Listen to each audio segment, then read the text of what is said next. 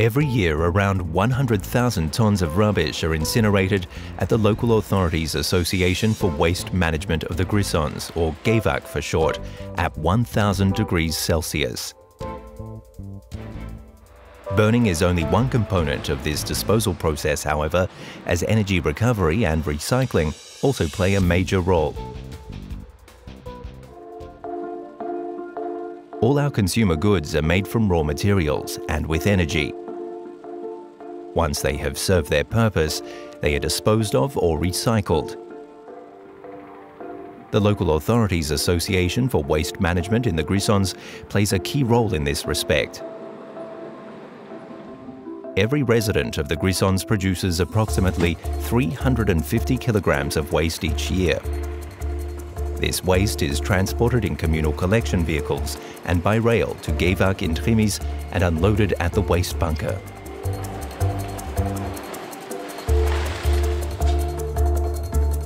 Here we see the waste bunker. All the waste is dumped into it, where it is temporarily stored and prepared prior to incineration. The different types of waste, such as wood, paper and others have to be mixed well by the crane installation. This is very important, so we achieve a uniform calorific value, which in turn enables continuous fire control. This is because plastic, for example, generates far more energy when burnt than wood,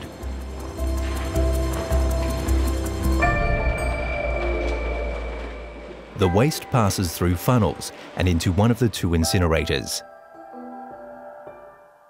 Without adding fuel oil and only by supplying air, the waste is incinerated at a temperature of around 1000 degrees. The incineration reduces the quantity of waste by up to 80% and the volume by as much as 93%. Why waste actually has to be incinerated is a good question. In addition to reducing the quantity and volume, sanitation is very important, which means causes of ill health in the waste are destroyed. If waste were to be put in landfills instead of incinerating it, it would produce climate-damaging methane gas. This is more than 20 times more harmful than CO2 we use the heat generated by incineration to produce electricity and for district heating for the city of Chur and the Landquart area. Energy from waste, and this is how it works. The heat of the fire converts water in the boiler into 400 degree hot steam at a pressure of 40 bar.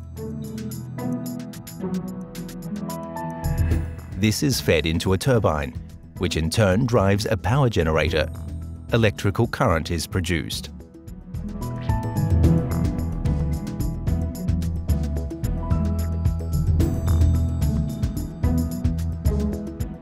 Around 16,000 households can be supplied with energy, which corresponds to 3.5% of the entire power requirements for the Grisons.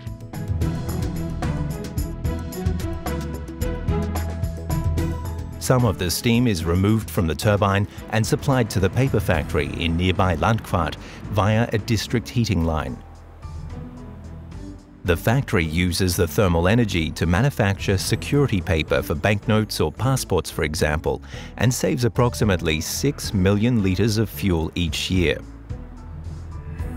In addition, the Forum at Ried, the secondary school and the greenhouses of a large garden centre in Landquart are supplied with energy from the waste incineration plant. The city of Chur is also supplied with district heat, including the Grisons Canton Hospital. This service will be further expanded in years to come.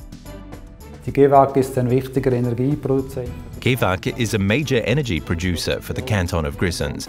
With its production of around 50 gigawatt hours, it is one of the largest energy producers in the canton. Thanks to the district heating supply of Landquart and Chur, around 10 million litres of fuel are saved each year. This sensible use of available waste heat supports the federal and canton energy policy. Thanks to the latest environmental technology and highly trained staff, the waste incineration plant in Trimmis is among the most ecologically friendly in all of Europe. Flue gas cleaning, for example, is a highly efficient five-stage process. It ensures that the emission rates are well below Switzerland's strict limits.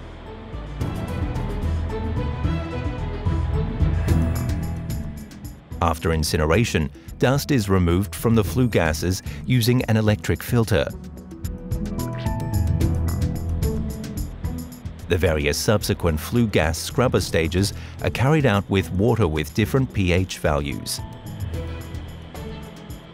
This enables the removal of harmful substances such as sulfur, acids and heavy metals from the flue gases. A catalytic converter system eliminates dioxins and nitrogen oxides. The water used for cleaning undergoes an intensive and complex process to remove heavy metals, acids and sulfur. The acids separated by means of this process are used to treat the previously deposited filter dust containing heavy metals. In this washing process, the heavy metals are dissolved and can be recycled in concentrated form. This applies mainly to zinc. The washed dust can be deposited at the landfill along with any combustion residues. In the command room, the nerve center of the plant, the data are collected and evaluated by the process control system. The plant is controlled on this basis. At the Trimmis waste incineration plant, we measure various exhaust components. These include, for example, hydrochloric acid, sulfur, and much more. Readings fall well below the limits set by the Swiss Clean Air Act. We see this in our online measurement. Sulfur dioxide, limit 50 milligrams, actual rate 2.8. Hydrochloric acid, limit 20 milligrams, actual rate 0.1. The data are sent every month to the Office for Nature and Environment of the Grisons in Chur. Our task is to check whether these measurements comply with all emission limits. As well as the exhaust air, the quality of the wastewater and the slag must also be checked. In addition, we also ensure that a comprehensive emissions measurement is carried out every three years by a neutral measuring institute. After the combustion process, the combustion residues, also known as slag, fall from the grate into a water bath, where they are cooled and then taken to a treatment plant.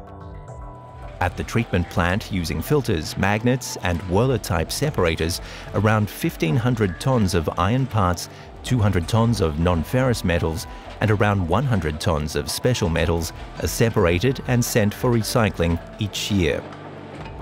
This completes a major material flow process so that new goods can be manufactured.